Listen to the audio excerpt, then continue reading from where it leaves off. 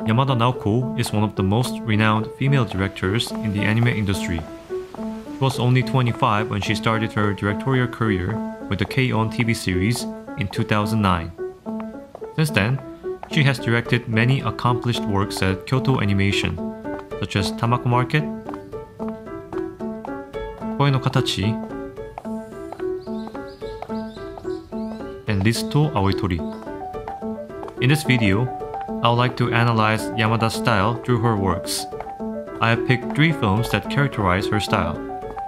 Tamako Love Story, Koe no Katachi, and Liz to Aoitori. Through these works, we can observe her directorial prowess and her outstanding contributions to the anime industry.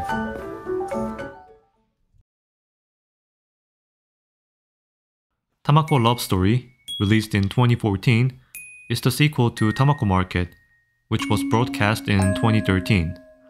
Unlike Tamako Market, which focuses on daily events happening around the Usagiyama shopping street, Tamako Love Story revolves around two protagonists, Kitashirakawa Tamako and Oji Mochizo. The story proceeds as Oji confesses his feelings to Tamako, and Tamako feels lost as she does not know how to react. In the film, Yamada's style is quite noticeable. The first characteristic is subtle movement. Unlike many other anime studios that primarily focus on dynamic movements and action, Kyoto Animation is known for depicting delicate movements, and Yamada takes it a step further. Facial expressions are exceptionally well represented, and even the slightest movements do not go unnoticed. As a result, every scene feels natural and vigorous, which helps the audience sympathize with the characters on a deeper level. The second characteristic is the extensive use of close up shots. Yamada widely uses close up shots to establish the atmosphere and express subtle movements. For instance, the scene where Tamako and Mochizo have a conversation on stepping stones includes many close up shots that emphasize the protagonist's emotional states. The third characteristic is the minimal use of background music and sound effects. In Tamako Love Story, background music and sound effects are kept to a minimum, and the only thing the audience can hear is the voice acting for the most part.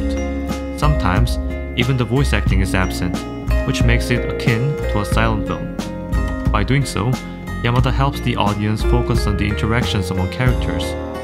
Also, it is easy to understand what is going on even when there is no sound, thanks to detailed movements and ingenious cinematography.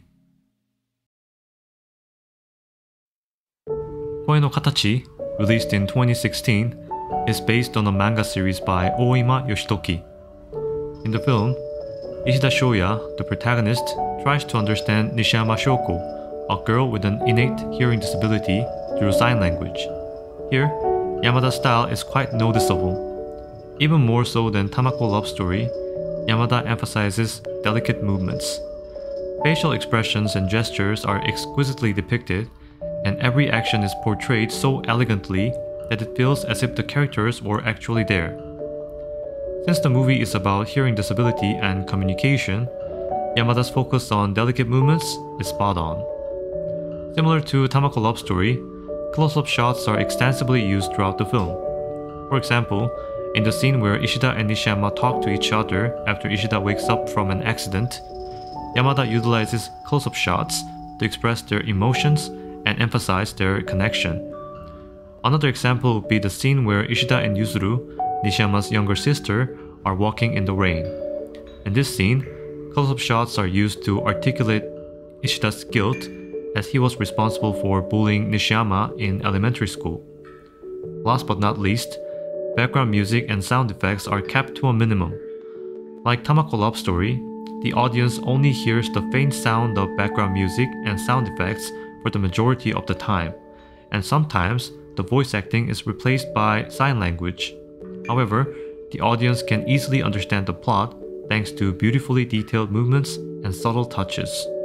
In addition, they help reinforce the idea of talking through sign language, since people with hearing disabilities would feel the same when they are having a conversation. Liz to Aoitori, released in 2018, is a side story of the Hibike Euphonium series. Compared to the main series, Liz to Aoitori is different in atmosphere and cinematography.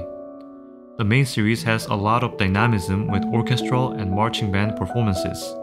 In contrast, Liz to Aoitori focuses more heavily on the dramatic aspect, centering around two protagonists, Yoroizuka Mizore and Kasaki Nozomi. Here, Yamada's style is unmistakable. Similar to her previous works, Yamada articulates delicate movements. Even the most basic movement, such as walking, is superbly depicted. For instance, the scene where Yoroizuka and Kasaki go to school demonstrates Yamada and Kyoto Animation's prowess. Walking to school is such a mundane activity that it is generally impossible to portray anything meaningful in works of art. However, Yamada makes the scene stand out by focusing on leg movements.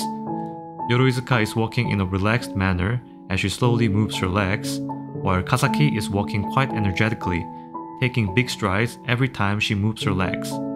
These subtle touches help elevate the quality of the work, which I find extremely well done.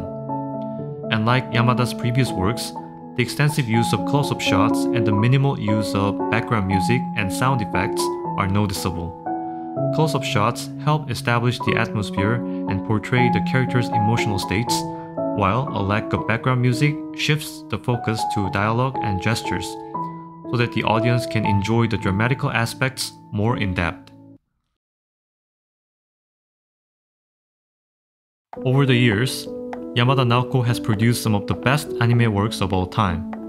Her extraordinary talents as a director could shine thanks to the fantastic talents at Kyoto Animation. Thanks to her, I have met some of my favorite anime works of all time, for which I'm eternally thankful. Thank you for watching.